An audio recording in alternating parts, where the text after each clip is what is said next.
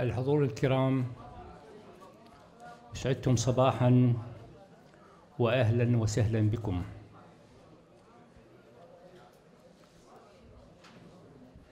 بمزيد من الحزن والألم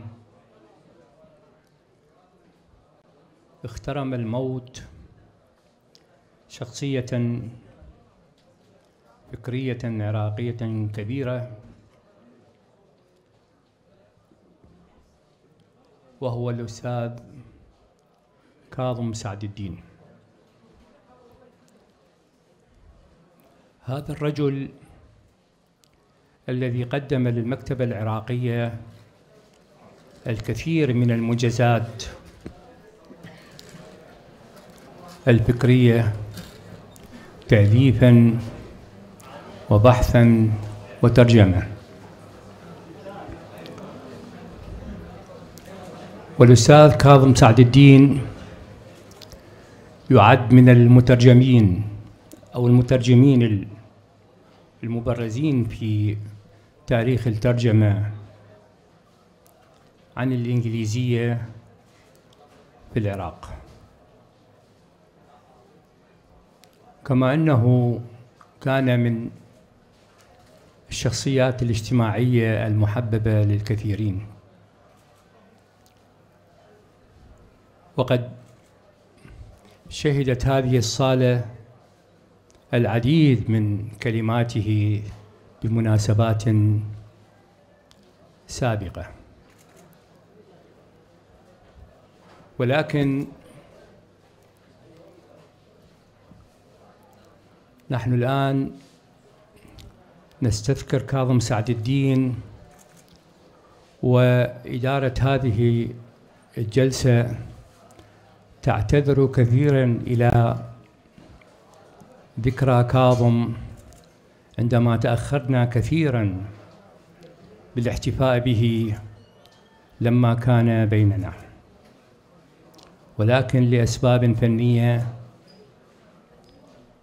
تأخر هذا الاحتفاء حتى إذا حانت منيته أسرعنا ب إحياء ذكراه وأقول هذا آسفا.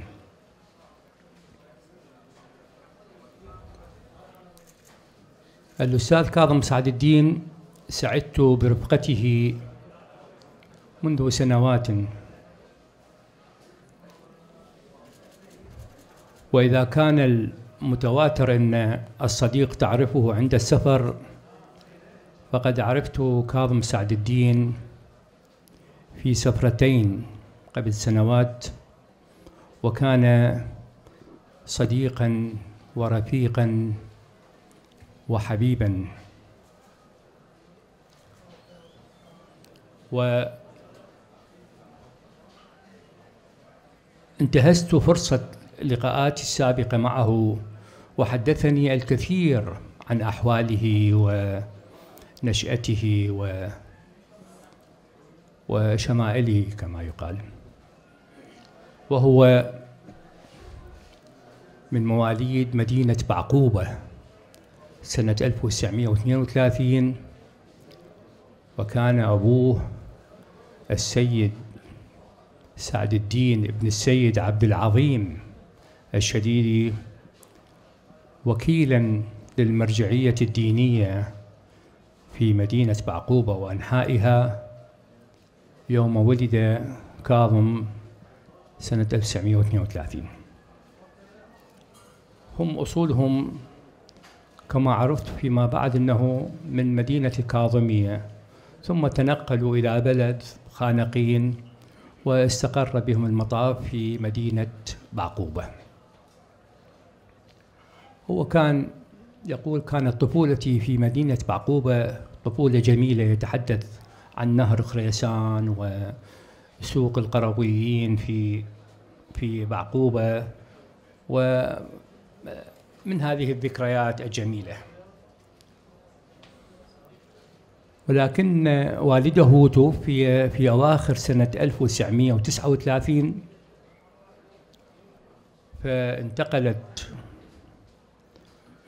أسرته إلى بغداد إلى منطقة الكرادة الشرقية وفي محلة البجمعة بالذات لأن أسرة البجمعة الكرادة هم أخوال الأستاذ كاظم سعد الدين منهم عباس حسن جمعة بن خالة و...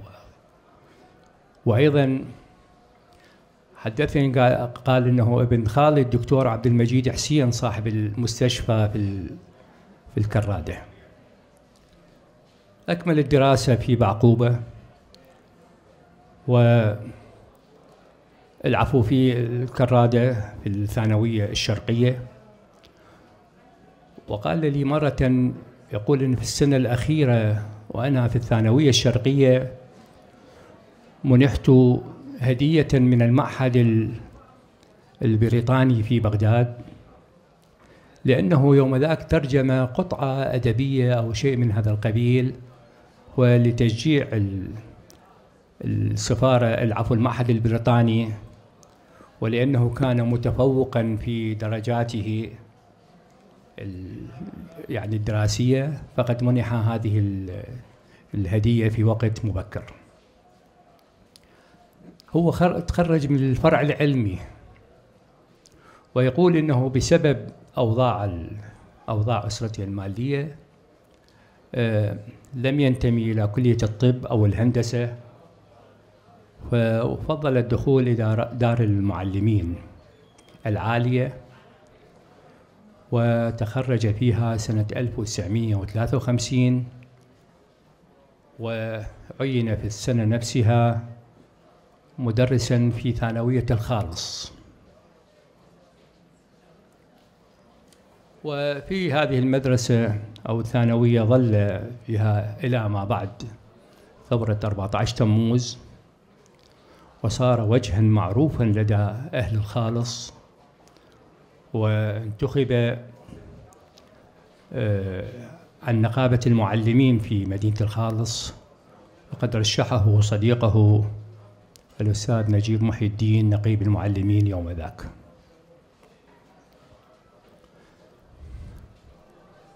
ثم انتقل إلى ثانوية في بغداد.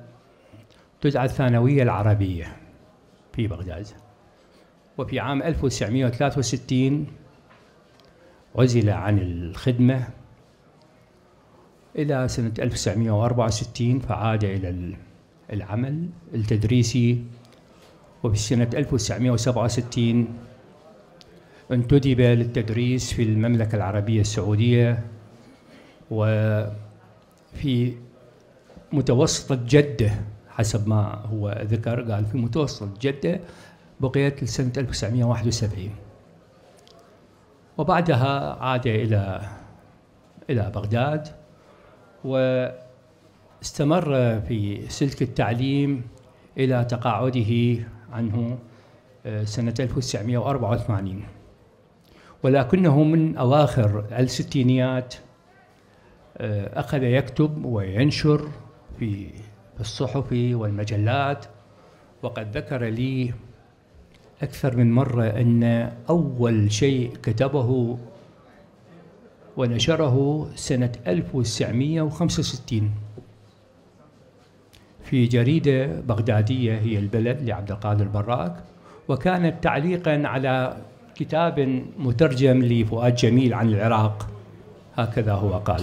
ثم استمر. وسنة 1968 آه، يعني كان كان أول كتاب له صدر في تلك السنة وهو المدخل إلى الأدب العربي مترجم لهاملتون جيب الكاتب المستشرق البريطاني المعروف.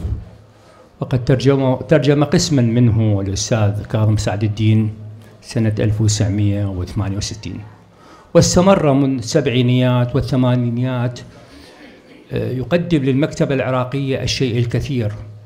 هو رجل كان مترجم مترجما صادقا أمينا ومتمكنا إضافة إلى أنه كان باحثا في التراث الشعبي و كاتبا في قضايا الفكر العربي والعالمي معروف لمن يتتبع أو المتتبعين لسيرة الأستاذ آه، كاظم سعد الدين. هذه مقدمة سريعة عن حياة الأستاذ كاظم سعد الدين رحمه الله. ونحن كما قلت الآن في صدد تأبين هذا الرجل. فشكرا للأساتذة الأفاضل الذين لبوا دعوة هذه الجلسة. ولتكن الدكتورة نادية هناوي هي يعني المقدمة العفو المتحدثة الأولى في هذه الجلسة فلتتفضل.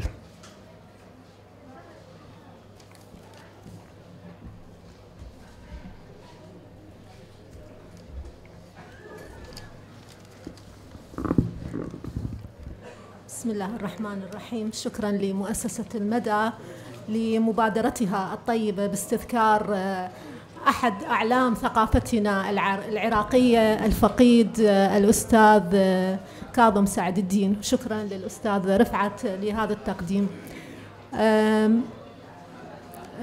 الأستاذ الراحل كاظم سعد الدين عاش حياته محبا للترجمة.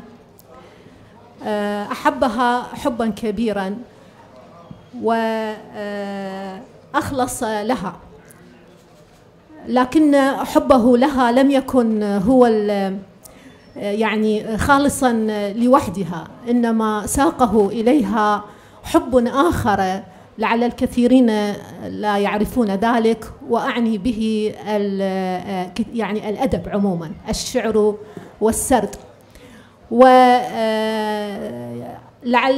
لا تعرفون وذكر الأستاذ رفعت أن أول عمل له كان عام 65 أنا أقول أن أول عمل يعني ابتدأه الراحل كان في مجال القصة القصيرة وكان يكتب ويعني نشر عدة قصص في مجلات محلية. ونشرها ونشر بعضها في مجلات عربية.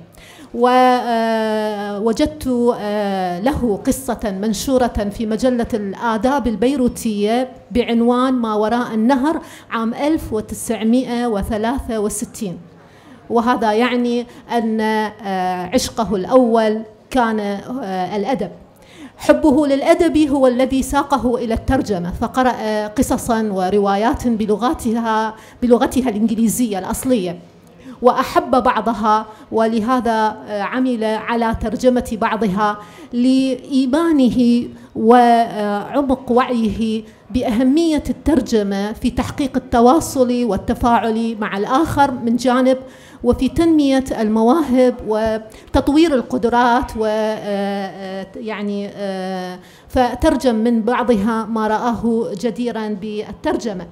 ترجمة لأشياء يعني لمستشرقين آه، ترجمة آه، لكتاب آه، وروائيين وقصاصين ترجمة لنقاد غربيين بعضهم لم تكن أسماءهم معروفة. ترجمة لكافجا لفرانس كافجا روايته في مستوطنة العقاب ويعني لأسماء أخرى غير معروفة. هذا يعني أن الأستاذ كاظم سعد الدين كان يترجم ويضع لنفسه سياقات خاصة. يعني مساقاته في الترجمة لم تكن مبنية على أطر كالتي يستند عليها أو إليها المترجمون اليوم. لا هو هكذا حبا وهواية كان يمارس الفعل الترجمي. وهذا الاتجاه هو الذي قاده إلى أن يقف عند يعني أعمال آه، لنقاد ولكتاب لا شأن له إن كانوا معروفين أو كان الوسط الثقافي قد مر على أسمائهم إنما كان يهمه آه، ما يتلائم مع ذائقته وحسه المرهف ويعني وعيه الفني والنقدي ف الذي يعني يطلع على ما كتبه الأستاذ آه، سعد الدين من آه، مقالات ومن آه، مؤلفات لمترجمه سيجد أنه كان يعني يتخذ من هذا الخط مسارا له. ومن بين الدراسات التي ترجمها ترجمات توزعت بين النقد والشعر والسرد. فترجم من الشعر الإيرلندي. دراسة لناقد إيرلندي اسمه كينلي ترجم له أشعارا كثيرة. هذا الكاتب طبعا غير معروف يعني في الوسط والترجمة كانت في عام 82 آه لكنه مع هذا وهذه أيضا سمة أخرى من سماته الترجمية أنه كان يقدم للترجمة بتعريف واف بصاحب بصاحب المقالة المترجمة. آه وهذا أيضا ينم عن وعي وذائقة نقدية. فكان يعرف بالكاتب آه يذكر لنا مؤلفاته يشير إلى أسلوبه ومسائل أخرى يغني بها القارئ العراقي والعربي ويقدم جديدا للثقافة العراقية. فترجم الشعر, الشعر الإيرلندي من حتى لشعراء مجهولين من القرن السابع الميلادي والذي يدقق في آه، ترجماته الشعرية تحديدا. سيجد أنه يمتلك وعيا ورهافة حس وذائقة راقية تعطي للشعر حيوية. وكأننا نقرأه بلغته الأصلية. وهذه مسألة يحسده عليها كثير من المترجمين اليوم الذين تفتقد ترجماتهم إلى السلاسة والانسياق والدوزنة. يعني كاظم سعد الدين كان يدوزن ترجماته بحيث تظهر يعني سلسة مرتبة وأنيقة وتقرأ برشاقة.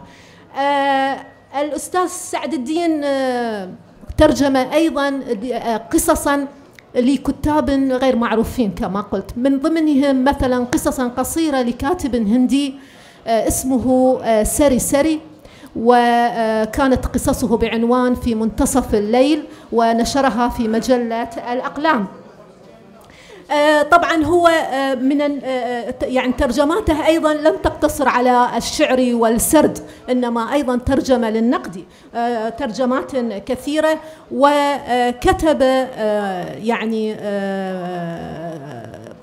مقالات في مجالات متنوعة يعني أيضا في الفلسفة وفي التراث الشعبي. لم يكن كاظم سعد الدين مترجما حسب. إنما كان أيضا باحثا مرموقا. كان يمتلك أدوات الناقد وأدوات الباحث النقدي. آه لو نقرأ له مثلا دراسات معينة سنجد أنه يمتلك هذه المقدرة. من قبيل مثلا آه نشر في مجلة الأقلام عام 79 مقالة بعنوان الخيول في القصة العراقية. وفيها تتبع المنجز القصص العراقي منذ بداياته وإلى وقت الدراسة. بحيث أن الذي يقرأها يدرك أنه كان على دراية كبيرة بطبيعة المنجز القصص العراقي وبما كتب حول الخيول آه، من قصة ورواية. من كتبه النقدية المهمة كتابه الريادي الأول من نوعه وهو الحكاية الشعبية العراقية آه، نصوص آه، ودراسة. وله أيضا دراسات في نقد النقدي.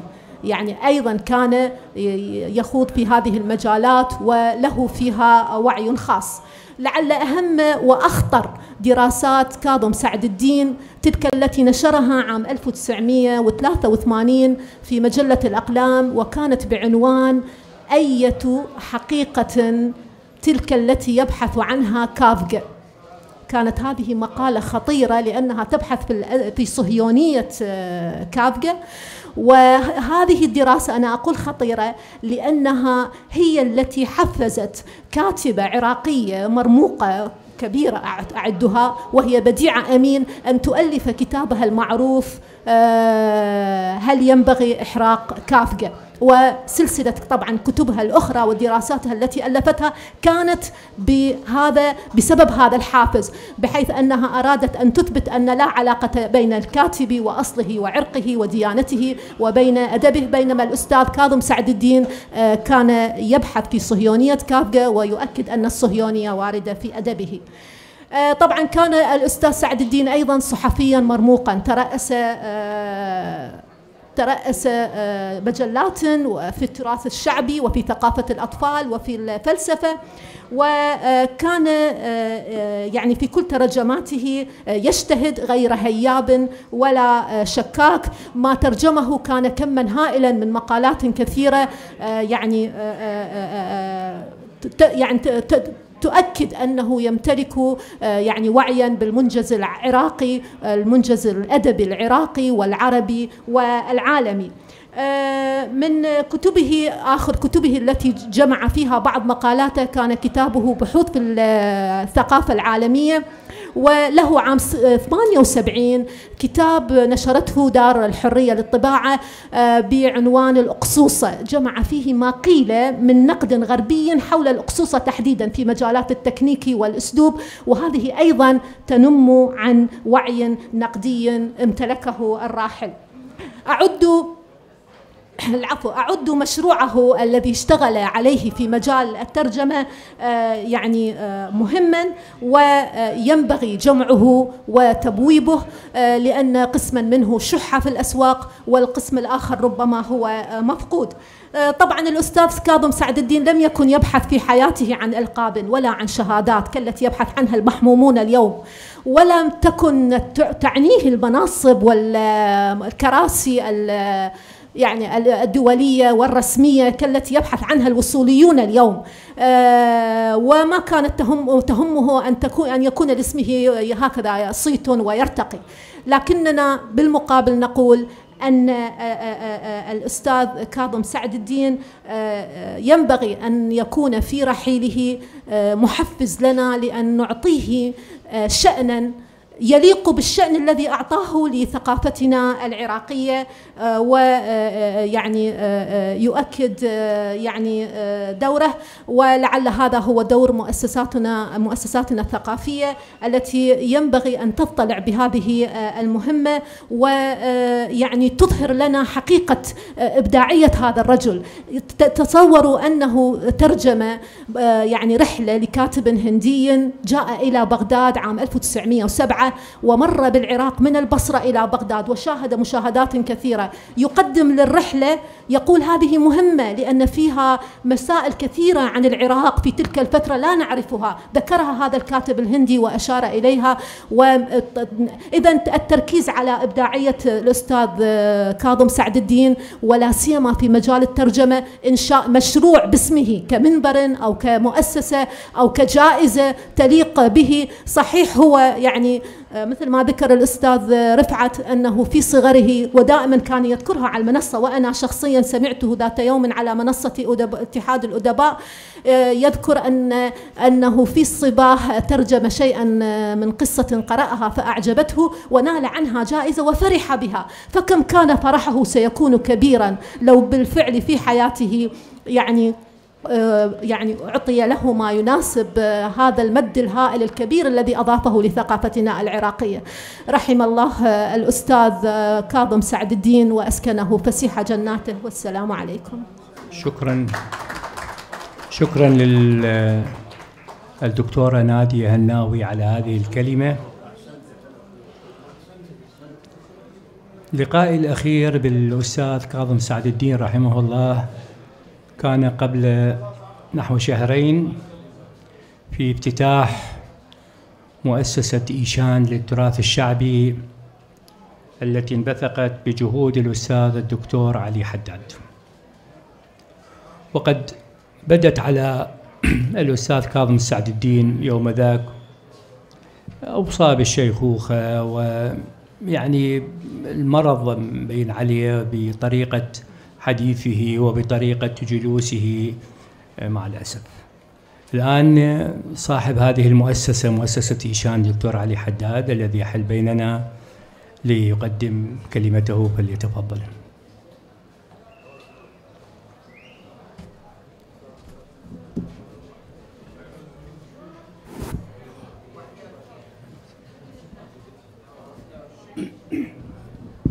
السلام عليكم. وطاب صباحكم. جزا الله المدى خيرا أنها كانت السباقة في الاحتفاء والتأبين لأستاذنا كاظم سعد الدين. وجزاكم الله خيرا أنكم تحضرون مثل هكذا مناسبة هو جدير بأكثر وأكبر منها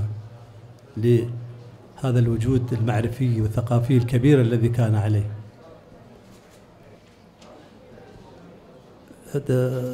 تمر في حياتنا يعني مواقف وأشخاص وتجارب نتعلم منها لا سيما حين تكون من أناس كبار القيمة والمكانة والعطاء. هؤلاء يعلموننا ويضعوننا على طريق المعرفة أكثر من أساتذتنا الأكاديميين في الجامعة. وكاظم سعد الدين من كان من بين هؤلاء.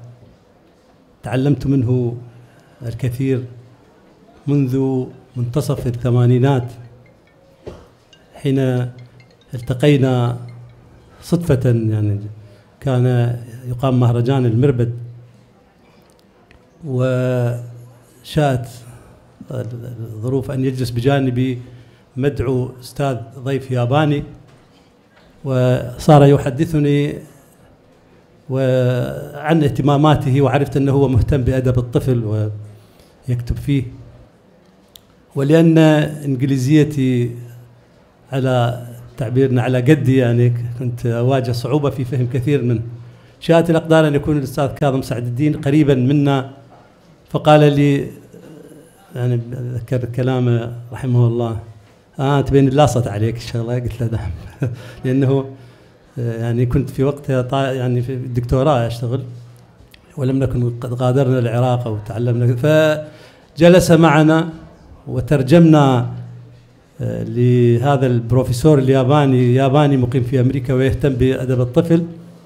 وصارت هذا اللقاء صار ما يقارب ثلاثة أرباع الصفحة نشرناه باسمينا في جريدة الجمهورية على ما أتذكر في 86 ومن يومها صار تواصلي مع الأستاذ كاظم سعد الدين رحمه الله وتواصل ورحت وأتعلم منه وأقرأ ولم يقصر هو حقيقة في أن يزودني بمعظم مؤلفاته منذ تلك المرحلة.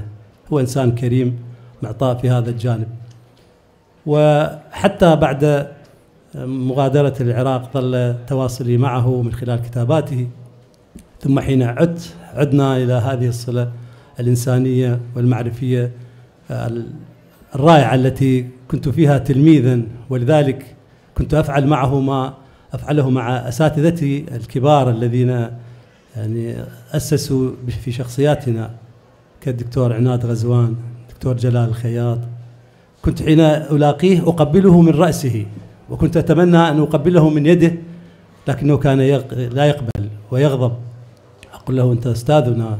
يعني آه، كان آخر لقاء كما ذكر الأستاذ رفعت أننا أسسنا لمؤسسة تعنى بالثقافة الشعبية واخترنا لها اسم ميشان وهو مفردة وهي مفردة بابلية أو سومرية تعني المكان المرتفع. فقلت له سنفتتح هذه المؤسسة وأريدك أن تفتتحها. اعتذر بوضعه الصحي وبأنه غير قادر على المجيء. قلت له سأبعث لك سيارة من الباب وتعيدك إلى الباب. حاول أن يعتذر. قلت له ويتذكر الأستاذ رفعت أمام قلت له يا أستاذ كاظم لو خيروني في افتتاح المؤسسة بينك وبين رئيس الجمهورية لاخترتك وما اخترت رئيس الجمهورية. فاستفزته هذه العبارة وأثارت أريحيته. وقال إذا سأحضر. وتحامل على الواحد وتسعين سنة التي هو عليها وجاء إلى المؤسسة وافتتحها فعلا وكان من سوء الأقدار أن يعطى للمصعد ونحن في الطابق الرابع ويصر على أن ينزل الطوابق الأربعة. وكنت أحاول أسنده كان يرفض المزاح يقول يعني أنت أقوى مني. بهذه الحيوية وبهذه الأريحية التي كان عليها. ثم أصر على أن يقدم إلى المكتبة أكثر من مئة كتاب للمؤسسة. كان كريما حقيقة في كتبه ولا أظن أن أحدا التقاه لم يقدم له من مؤلفاته ما يغنيه وما يحتاجه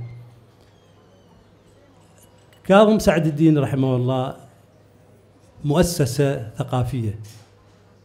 الترجمة وأدب الطفل والتراث الشعبي ثلاثة خطوط اشتغل عليها متداخلة وقدم فيها عطاء يكاد ينفرد به.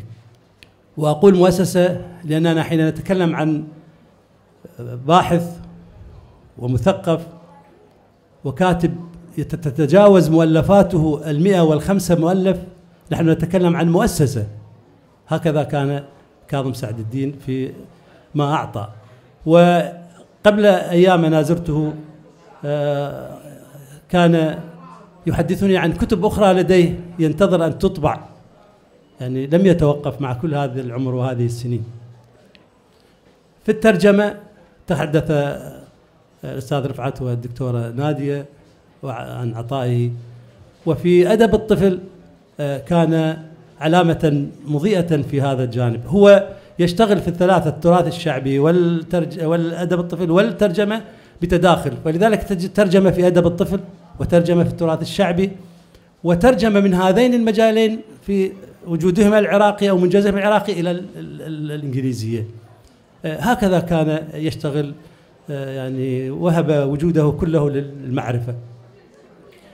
ربما لاني أنا هذا الجانب الذي كان تماسي معه كثيرا هو ما يتعلق بالأدب الشعبي أو التراث الشعبي. أستاذ كاظم سعد الدين كان من أوائل الذين طرحوا مفهوم التراث الشعبي. ترجم كلمة الفولكلور في يعني كما أنا عندي لقاء مطول معه حقيقة وبخط يده تجاوز العشرين صفحة أحتفظ به. قال لي أنه آه، وقف عند مفردة الفولكلور وترجمها إلى التراث الشعبي آه، يعني منذ العام 63 نشر مقالة في ذلك الوقت. ولعلها هي التي آه، يعني تبناها من بعده آه، لطف الخوري وإبراهيم الداقوقي وأسسوا مجلة التراث الشعبي. وتواصل هو معهم أيضا في تلك المرحلة. في التراث الشعبي ما أنجزه الأستاذ كاظم سعد الدين يعني أيضا لا يعني يقل عن هذا الإنجاز الكبير الذي ربما لو جمعنا عشرة مؤلفين لما أنجزوا ما أنجزه. لديه أكثر من 45 كتاب في مجال الأدب الشعبي والدراسات الشعبي وترجمة أيضا التراث الشعبي. كان آه، موضوعيا في هذا الجانب. فاشتغل على يعني ما هو قريب إلى نفسه وهو ما هو قادر على أن يقدم فيه شيئا مضافا ومهما. اشتغل على الحكاية الشعبية. آه، ويقول آه، يعني لديه يعني فقط عن الحكاية الشعبية العراقية يمكن 12 كتاب. يقول آه، لم أهتم بالفنون الأدب الشعبي الأخرى لأن لها مختصوها. يعني وهذه رؤية موضوعية. يعني هو لم يقترب كثيرا من الشعر الشعبي إلا بإشارات. بالمناسبة هو قدم فهرس ضخم ومبوب عن آه، مجالات التراث الشعبي. لكنه لم يهتم كثيرا أو لم يقف طويلا عند الشعر الشعبي لإدراكه أن هذا الشعر يحتاج إلى آه، مدركات خاصة في اللهجة وهو ابن آه، ديالة وابن بغداد وابن الكرادة. ربما يصعب عليه أن يقرأ الحسجة الجنوبية والدارمي الجنوبي والأبوذية. ف صب جل اهتمامه على الحكاية الشعبية التي ذكر لي أنه يعني كان يجمعها من عمته عندما كان طالبا في المتوسطة ومن جدته ومن محيطه واحتفظ بها حتى أعاد صياغتها بعد ذلك بسنين. هذه الإنسانية العالية الحقيقة جديرة بأن نقف عندها طويلا ونتأملها وكما ذكرت الدكتورة نادية يعني آه، لابد من جهات تهتم بهذه الشخصية بمنجزها. مع الأسف يعني أنه توفى وكلمني يعني ابنه وكنت أتمنى أن يحضر معنا وهو وعدني بالحضور لكنه يبدو لظروفه. آه، أن يذهب هذا الرجل ويعني يدفن دون تشييع رسمي ودون جهات تعتني به. وما بقى ما تبقى من تراثه أشك أن هناك جهة رسمية ستعنى به. وتقوم بطبعه لأننا مع الأسف نعيش هذه الأزمنة الرديئة الأزمنة التي يموت فيها المثقف الكبير ولا يسأل عنه. لكن لو كان متوفى مع دعواتنا للناس بطول العمر والعافية لو كان ممثلا لو كان مطربا لضجت الصحافة ولا لكنه مات كاظم سعد الدين بكل هدوء. والغريب في الأمر وليس غريبا على رجل على رجل مثله أحب الناس وأحب الثقافة وأحب الحياة أن يموت في يوم عيد الحب. وأشكركم. شكرا للأستاذ. الدكتور علي حداد على هذه الكلمة. والآن الكلمة للأستاذ الدكتور قيس كاظم الجنابي فليتفضل. كنت أعتقد أن كاظم سعد الدين بعيدا عن السياسة ولكن من أحاديثه التي حدثني بها أنه مر ببعض يعني الظروف السياسية إذا.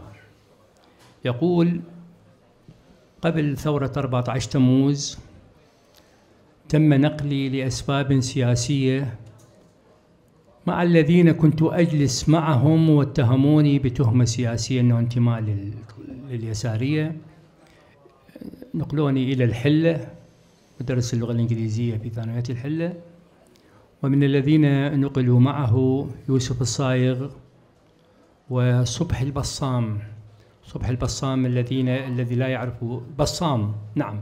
هذا الأستاذ المختص باللغة العربية والذي ألف كتابا يستدرك به على قل ولا تقل لمصطفى جواد. الله يرحمه صبح البصام. نعم. ويقول إنه في سنة 1959 آه، ألقي القبض علي مع آخرين والتهمه أنه كنا آه، قد كتبنا آه، طلبا إلى الزعيم عبد الكريم قاسم نحذره من مرافقه جاسم العزاوي. إنه هذا دي يعني إلى صلات ببعض الجهات المناوئه للسلطة يوم ذاك واعتقل ولكنه أطلق سراحة بعد أيام بتوسط من شقيق آه، جاسم العزاوي. كان ساكنا بالكراده أعتقد اسمه مهدي الكاظم أو هيك شيء هو جاسم كاظم العزاوي نعم مهدي الكاظم.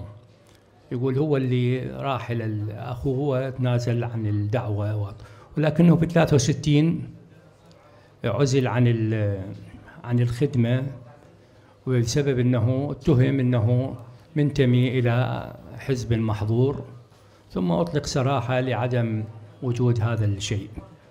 فهو يعني اقترب من السياسة ولكنه فيما بعد انصرف تماما إلى الكتابة والبحث و التدريس نعم دكتور. الأخوة الحضور السلام عليكم. فرصة سعيدة أن أتحدث عن أبي الروحي كما أسميه وكما يسميني كما يطلق علي دائما وليدي هكذا يقولها الأستاذ كاظم سعد الدين تعرفت عليه بحدود منتصف الثمانينات. وكنت أكتب في المجلات الموجودة في دار الشؤون الثقافية وكان هو في تلك الفترة مترجما وكاتبا في مجلة التراث الشعبي. وتوطدت علاقتي بي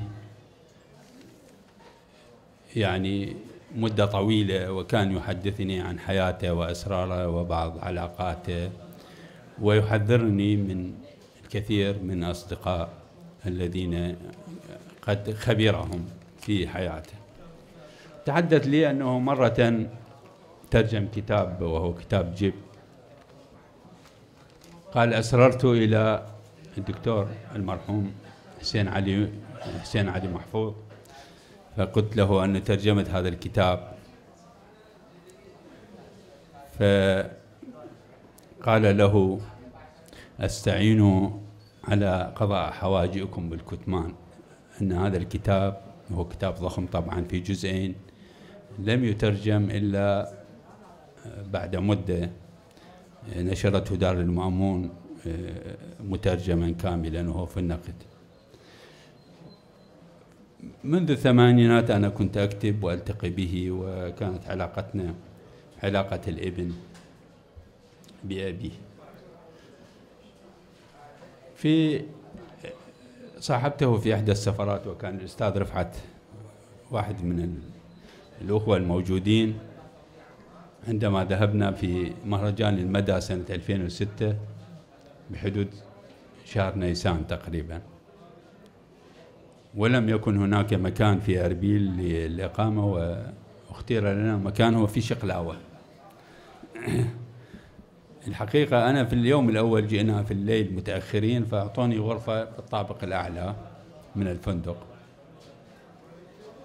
وفي اليوم الثاني تآمر علي الأخوة الأصدقاء لما يعرفون من صداقتي ومحبتي للأستاذ كاظم سعد الدين وقالوا أن الأستاذ كاظم يشخر في الليل وكذا وهذا فمنحت فمنحته غرفتي وسكنت معهم. صاحب وأصبحنا ثلاثة في غرفة صاحب واحد. المؤامرة باسم عبد الحميد حمودي. وبما أنه أستاذ باسم أيضا من أصدقائنا فالحقيقة هو كانت من الطرائف وبقينا حوالي ثلاثة أيام هناك في أربيل وقرأنا الموضوعات نعم كثير طبعا أنا كتبت عن كتابة الحكاية الشعبية. كجزء وكان هو رئيس تحرير مجله التراث. الشعبي كتبت دراسه بعنوان التلقي السلبي للحكاية الشعبية. أقصد بعد تدوينها باللغة الفصحى لأنها تفقد هويتها لنقل هكذا. والموضوع أيضا هو نشر وما زال هذا موقفي يعني ثابت أن الحكاية الشعبية يجب أن تدون باللهجة الشعبية. والحقيقة التقيت به أكثر من مرة وأتذكر أنه موقف جدا كان يعني محزن بالنسبة لي. بعد 2006 بعد عودتنا اعتقلتني القوات الأمريكية وبقيت فترة طويلة بالمعتقل إلى أن خرجت. فسألت عنه طبعا بحدود سنة 2008 فقالوا لي أنه في بيت الحكمة يعمل في قسم الترجمة. فجئت لأسأل عنه وأسلم عليه وكذا. في أثناء مروري في أحد الأروقة واجهني هو في الطريق. الله يرحمه. فمددت يدي لإصافحه. فطبعا هو قال قال لي ولادي مو هالشكل. فتح ذراعيه واحتضني وعانقني عناق. ما زلت أتذكره. الله يرحمه. تلك اللحظة لن أنساها أبدا. كأني ابنه فعلا يعني احتضن وعانقني. قال لي ذول القواوي يشير دم عندك؟ قلت له ما أدري. طبعا هو جهوده معروفة يعني الحقيقة في الترجمة ولديه أعتقد كتاب عنوانه كبار الكتاب كيف يكتبون. مترجم وهو من الكتب الجميلة طبعا. وهذا الكتاب طبعا فقد يعني بسرعة من الأسواق لأنه هو نصوص آه، مجموعة مقالات يعني آه، مترجمة وجميلة. وعنده كتاب آخر مقالة مهمة أنا قرأتها في وقتها كلفتنا مجلة الموقف الثقافي كان رئيسها الدكتور مرشد الزبيدي. فأنا كتبت عن روايات الأسرة وهو ترجم موضوع أدب الأسرة ترجمة. ومن الطريف أنه بعض هذه النصوص كتبها أسرى وهم لعوائلهم أو صديقاتهم أو حبيباتهم أو زوجاتهم وهم يعني في مرحلة ما قبل الإعدام. وهذه الأحاسيس من الصعوبة تصويرها. وقد طبعا أحسن تصوير هذا الجانب الجانب اللي أعتبره أنا جدا مهم. أن تترجم نص لشخص آه، قبل إعدامه.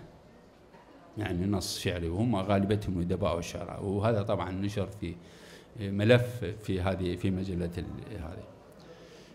عنده أيضا آه،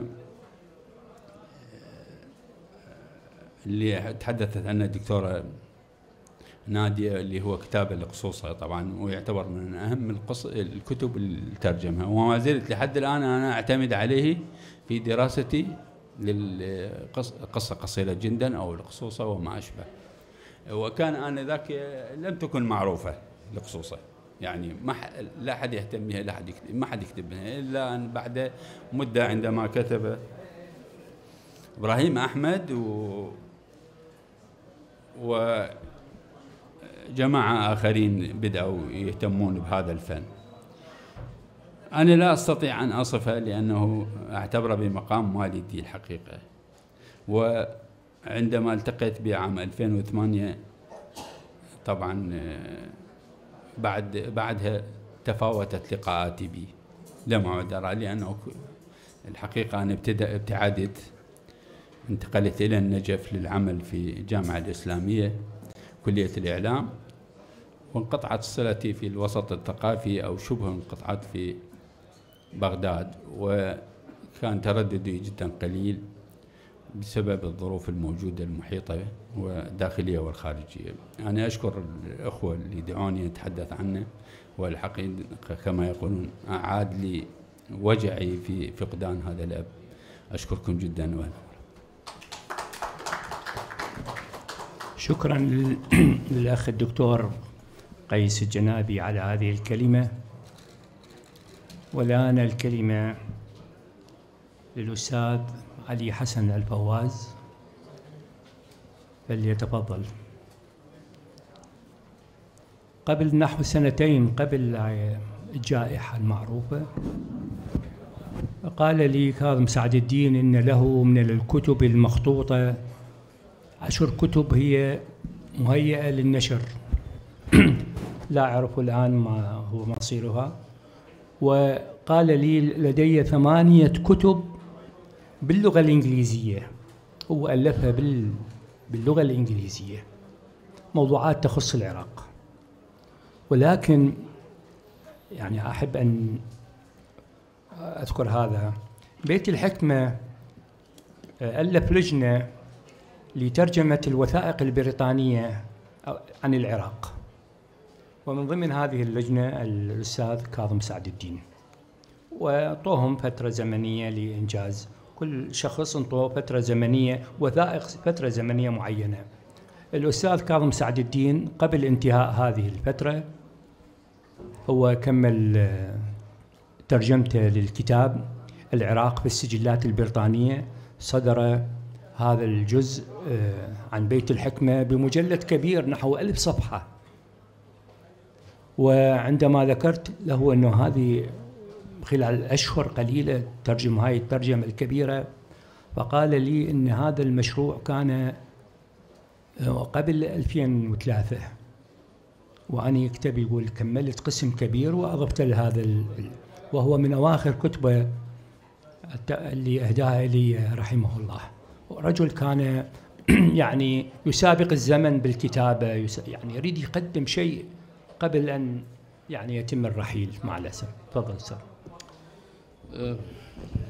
السلام عليكم وشكرا للمؤسسة المدى وشكرا للصديق رفعت. لقد أغنى الأصدقاء الحديث بعمق عن سيرة الراحل الأستاذ كاظم سعد الدين. لكن مهما كان هذا الإغناء تبقى السيرة مفتوحة ويبقى الحديث مفتوح. عن شخصية ثقافية ملتزمة بمواقفها وملتزمة بقيمة المعرفة والثقافة أخلاقيا و إيمانا بأن الثقافة مشروع. وهذا المشروع يحتاج إلى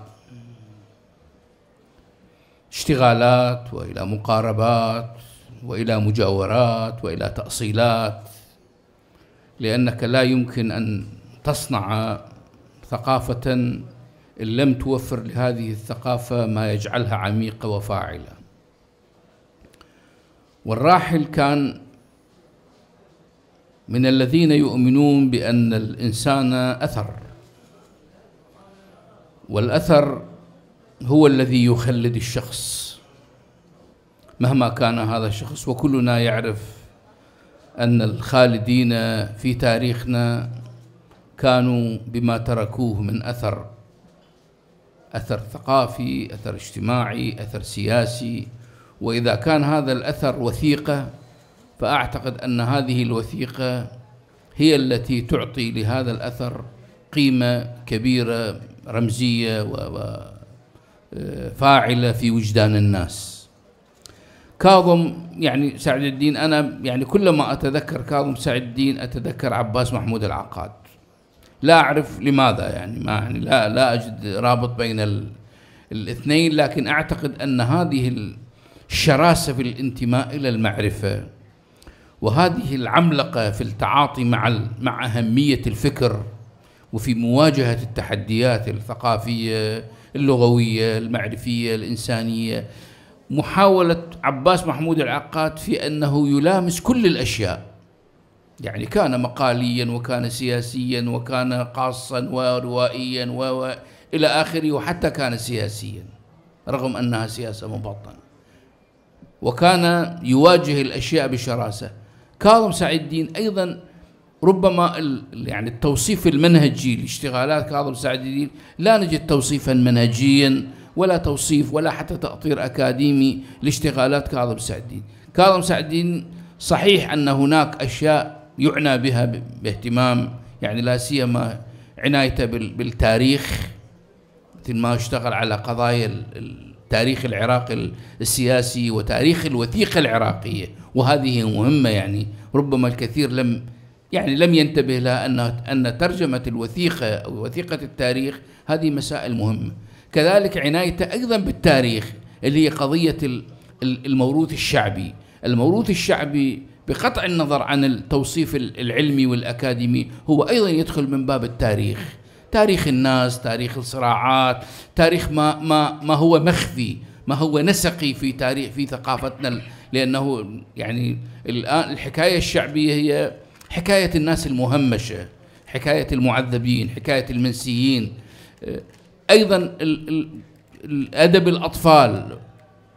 وحتى أنا بتقديري يعني الجانب أو الجنبة الأدبية الجنبة الأدبية عند يعني رغم عدم وضوحها بشكل كبير لكن بتقديري أن الجنبة الأدبية عند كاظم سعد الدين كانت هي الجنبة المغذية. لأنه تذكرت يعني بالأمس قبل يومين توفت واحدة من النحاتات المهمة والكاتبات المهمة هي منى سعودي الكاتبة الأردنية أو السعودية يعني خلطة خلطة الولاءات مالتها.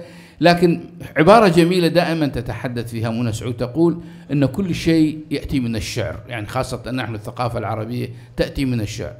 أنا أقول كاظم سعيدين كل شيء يأتي من الأدب بمعنى العمومي لأن الأدب هو الذي يغذي.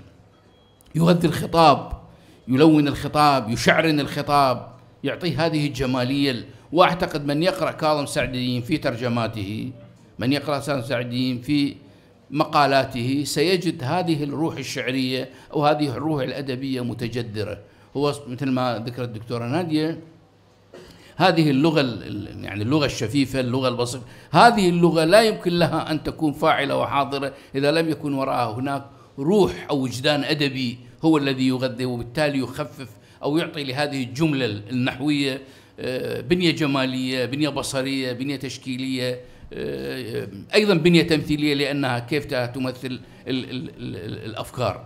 فأهمية كاظم سعد الدين يعني إحنا الإخوان اغنوا وتحدثوا كثيرا لكن أهمية كاظم سعد الدين وربما من الصعب جدا أحد ينسى كاظم. ليش؟ لأنه إحنا كلما نقرأ أدب الأطفال سنجد أن كاظم سعد الدين لديه مكتبة خاصة بترجمات أدب الأطفال، حينما نقرأ التراث الشعبي سنجد وبالمناسبة أن الآن التراث الشعبي تحول إلى مشغل كبير. بتحول لأن الآن الأمم صحيح أن كلما ضغطت العولمة على الناس أو كلما ضغطت الثقافات الاستهلاكية على الناس تلجأ الناس إلى الهويات. وكأنها تبحث عن صيانات روحية أو تبحث عن ملاذات روحية لكي تواجه فيها هذه التحديات تحديات المحو تحديات الزوال تحديات التغيير. كاظم سعدين واحد من أكثر الأدباء العراقيين الذين اشتغلوا على موضوع التراث الشعبي بوصفه جزء من منظومة أو جزء من مركب الهوية. لأننا نجد ذواتنا نجد حتى وإن يعني حتى وإن كانت هذه الكتابات فيها يعني ذات بعد ترجمي لكن بتقديره هو أيضا يشتغل على هويات الشعوب. الشعوب هي هويات الشعوب هي لغات. يعني هذا التلاسن وهذا التشابك اللغوي ما بين الشعوب. فكاظم سعد الدين كان يدرك أهمية أن يشتغل في هذه المناطق. هذه المناطق المحببة لنفسه وسهلة التداول سهلة الاستهلاك. هو لم يتورط مثلا بالكتابة الفلسفية هو لم يتورط بالكتابة التاريخية بمعناها الجدلي بمعناها السجالي لكنه حاول أن يشتغل أو أن يقارب القضايا التي تمس ما يعزز وما يؤسس لذائذ الأشياء عند الناس. يعني الأشكال أو البنيات الأدبية التي يمكن أن تمنح القارئ إحساس بذاته يمكن أن تمنح. لكن مع ذلك كاظم سعد الدين كان آه، له أيضا قصدية وله انتقائية جيدة وهو يعني يعني ليس بعيدا عن التاريخ السياسي. يعني إخفاء ال ال ال الانتماء السياسي أو المرجعيات السياسية لكاظم سعد الدين أعتقد فيها من التورية. أيضا كاظم سعد الدين كان جزء من منظومة اليسار. اليسار بكل ما تعني هذه اليسار من التزام من إيمان بأن المثقف هو موقف. المثقف هو رؤية المثقف هو مواجهة. فأعتقد كاظم سعد الدين اعتقل لأكثر من مرة وأعفي أكثر من مرة ونوفي لأكثر من مرة. هذا دليل على أن هناك مرجعيات سياسية عميقة ربما هي غير مكشوفة لكنها موجودة. ومن يقرأ كاظم سعد الدين في تفاصيله أو من يحاول أن يحفر سيجد هذه المواقف هذه الالتزامات هذه القيمة الأخلاقية وهذه القيمة الوطنية وهذه القيمة التاريخية العميقة الموجودة في اشتغالات كاظم سعد الدين يرحمك الله يا أبا كفاح. شكرا جزيلا. شكرا. شكرا أستاذ علي حسن فواز على هذه الكلمة. الحقيقة يعني الانتماء السياسي وواضح يعني اتجاه الديمقراطي اليساري بدليل إنه انتخب آه، يعني آه، عن نقابة المعلمين في مدينة الخالص عن الجبهة الديمقراطية. يعني سنة 1960 يوم كان الأستاذ نجيب محي الدين هو نقيب العفو المعلمين العراقيين. وهو اعتقاله سنة 63 وعزل عن دليل على أنه هو توجه يساري واضح. ولكنه هو كما قال الأستاذ الفواز يعني آه، حجب هذا الشيء وانصرف تماما إلى الكتابة والعلم. من كتبه المشهورة في السنوات الأخيرة كتاب مشاهير أدباء العالم. هذا كتاب كبير. نشرته أعتقد دار المأمون للنشر كتاب كبير جدا عن كثير من أدباء العالم شمالا وجنوبا. و كتاب يعني لطيف يقرأ. أنا شخصيا قرأته بأكمله لاختيارات هذا الكاتب لهذا الكتاب الذي ترجمه الأستاذ كاظم سعد الدين. وإن كتب عن هذا الكتاب الشيء الكثير ومن هؤلاء الكتاب الأستاذ شكيب كاظم الذي جاء إلى هذه الجلسة فليتفضل لإلقاء كلمته عن الأستاذ كاظم سعد الدين.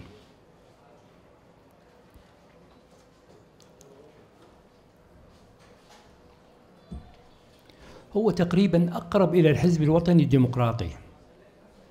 يعني تصور يعني علاقته بنجيب محي الدين وعلاقته بأخو نجيب وهو الأستاذ خالص. لأنه قريب من الحزب الوطني الديمقراطي. حزب كامل الشالرجي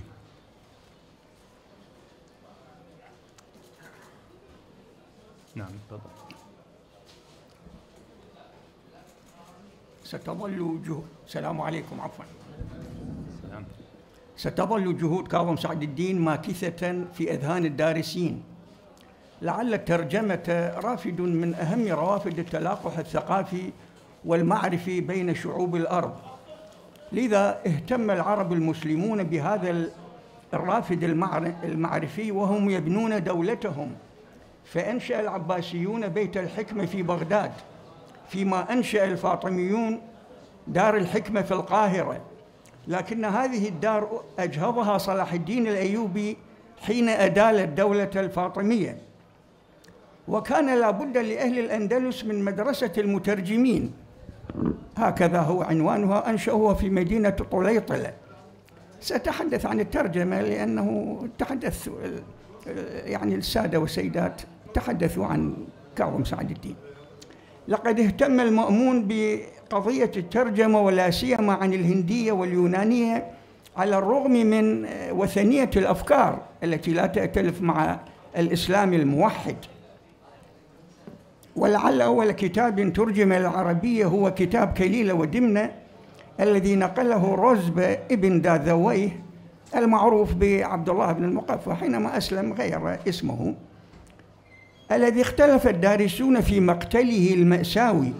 وأرى أن قتله جاء بسبب كتابة وثيقة الأمان لعبد الله بن علي عم المنصور الذي خرج عليه في البصرة وحينما يعني ألقي القبض عليه كتب عبد الله المقفع كتاب الأمان ما يستطيع المنصور أن يقتله فبعدين قتله لأنه لم يجد مجالا لقتله لقتل عمه. نقله ابن المقفع عن الفهلوية وهي الفارسية القديمة وفيه قصص موحية. ألفه الفيلسوف الهندي بيدبا على لسان الحيوانات لعله يريد التخلص يعني يتحدث عن المسكوت منه خشية يعني يجعلها على لسان الحيوانات. وإذ تأسست الدولة العراقية الحديثة فإن القائمين عليها اهتموا بأمور الترجمة.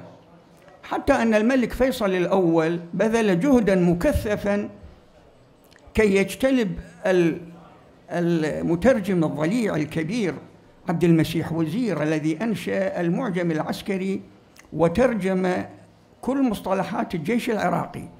وكان هذا المعجم العسكري مثابة ولبنة لأن تترجم أو تعرب كل مصطلحات الجيوش العربية استخدمت الجامعة العربية. فتصوروا هذا الجهد العظيم الذي بذله عبد المسيح وزير ولا ولم يلتفت عليه أحد. لقد أنجب العراق رعيلا رائعا في الترجمة سواء من اللغات الإنجليزية أم الفرنسية أم الروسية والإسبانية. فضلا عن لغات العراق القديمة التي يقف على رأسها العلامة طه باقر الذي له فضل ترجمة ملحمة هو الذي رأى. ملحمة قلقامش أو جلجامش أو قلقميش على لغة الكبير الرائع عبد الحق فاضل. وإذ ترجم طه باقر الملحمة نثرا فإن آه، عبد الحق فاضل ترجمها شعرا فتصور. ومن أفذاذ المترجمين في العراق جعفر الخياط وجبرة ونجيب المانع وصلاح نيازي فضلا عن عبد الواحد محمد وعبد الواحد لؤلؤ الرائع الكبير الذي له فضل ترجمة موسوعة المصطلح النقدي. بأجزائها العديدة ومحمد درويش وسعيد الغانمي مكتبة متنقلة سعيد الغانمي. الآن هو في الغربة. ويؤيل يوسف عزيز ولطفية الدليمي وابتسام عبد الله وفي الأدب السوفيتي أو الروسي جليل كمال الدين وضياء نافع وغائب طعمة فرمان وبسام ياسين رشيد البزاز عن اختصاص الإسباني وعبد اللطيف الموسوي عن الفرنسية. ثمة مقولة نقدية إيطالية مفادها الترجمة خيانة. وأرى أن هذا ينطبق على الشعر لما يحويه من كنايات واستعارات ومرموزات فضلا عن الوزن والقافية. كذلك الأسلوب القرآني عالي المستوى حتى أن المستشرق الفرنسي الشهير ريجيس دوبريه يعني يبيح على الرغم أنه ترجم القرآن الكريم لكنه لا يدرك الوجه البلاغي في قوله تعالى واشتعل, واشتعل الرأس شيبة. يقول لتلميذه إبراهيم الساموراي أنا لا أفهم يعني هذا القول بدليل يعني لأنه يعني فثقافة الفرنسيين تختلف عن ثقافة العرب. فضلا عن قوله تعالى ألا بذكر الله تطمئن القلوب؟ لقد فهم من هذا القول الإلهي أنه استفهام إنكاري. وهذا لا لا يعني يؤدي المعنى وإنما هو معنى إيجابي أن إن بذكر الله أو إن بذكر الله تطمئن القلوب. كما لم يفهم مترجمون إنجليز المعنى المجازي لقوله تعالى انشق القمر في اقتربت الساعة وانشق القمر. ومن هذا الرعيل الترجمي الرائع المترجم الضليع الأستاذ كاظم سعد الدين. الذي فقدته ثقافة العراق والعرب يوم الرابع عشر من شباط الحالي الذي رفد المكتبة العربية بعديد الكتب المهمة مثل رواية الأقرباء الأبعدون للروائي المكسيكي الشهير كارلوس فوينتس. نقلها الأستاذ كاظم لا يعرف اللغات الأخرى وإنما ينقلها عن لغة وسيطة هي اللغة الإنجليزية. فضلا عن بحوث عن كتاب بحوث في الثقافة العالمية الألسنية والأدب والفن. وله كتاب آخر للمستشرق الروسي فيلشتينسكي أيضا نقله عن لغة وسيطة وهذه معضلة أخرى في عوالم الترجمة. إذ من الأفضل نقلها عن لغة الأصل من غير لغة وسيطة كي لا يبتعد المرتجم المترجم عفوا كي لا يبتعد المترجم عن لغة الأصل والدخول في متاهة تعدد الوسطاء يعني عن لغة عن لغة أخرى. في الرحلة نحو لغة الهدف كما ترجم لنا قصائد مختارة من الشعر الإسباني القتيل غارسيا لوركا. فضلا عن كتابه الأهم كما أراه مشاهير أدباء العالم ذكريات وحوارات ويقع في أزيد من 600 صفحة وقد أدرت عنه حديثا نقديا نشرته المدى يوم أمس في ملحقها. هذا الجهد الترجمي الراعي الذي بذله شيخ المترجمين العراقيين الأستاذ كاظم سعد الدين الذي نافع على ستة عقود من عمره المديد هو الذي سيبقيه في ذاكرة الزمان وذاكرة القراء الجادين على الرغم من عمليات الإنساء والإمحاء. التي تمارسها الأيام في سيرورتها نحو اللائين. وأما الزبد فيذهب جفاء وأما ما ينفع الناس فيمكث في الأرض. ولا ريب أن جهود الأستاذ كاظم سعد الدين ستظل ماكثة في الأرض حسب بل بل ستظل في عقول وأذهان الدارسين والقراء الجادين وما هذا بالهين ولا اليسير وفي ذلك حسبه ومرامه والسلام عليكم. والسلام. شكرا أستاذ شكيب كاظم على هذه الكلمة الطيبة. والحقيقة أني على يقين بأن الأستاذ كاظم سعد الدين رحمه الله قد ترك على منضدته العديد من الكتب يعني يروم إنجازها. بدليل أني في الشهر الأخير من سنة 2019 كلفت من إحدى الجهات وهي العتبة العباسية في كربلاء أن أن يقوم الأستاذ كاظم سعد الدين بترجمة آه، الوثائق الخاصة بمدينة كربلاء في يعني وثائق السفارة البريطانية. هو الرجل اعتذر وقال لي لدي خمسة كتب بهذا الموضوع موضوع الوثائق العراقية يعني في الخزائن البريطانية.